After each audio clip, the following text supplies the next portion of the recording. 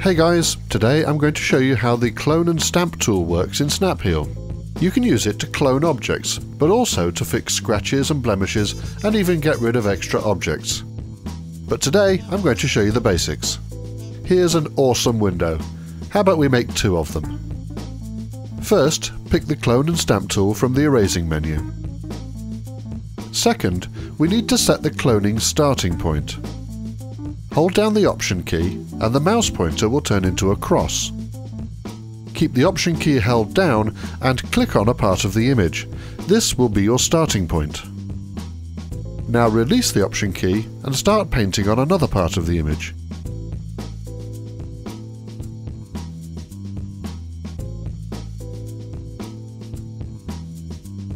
You'll see a pointer moving over your cloning area it shows you the area you're currently copying from, which is very handy.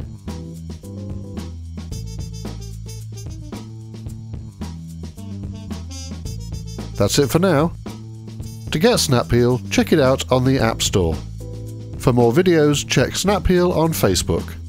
Good luck!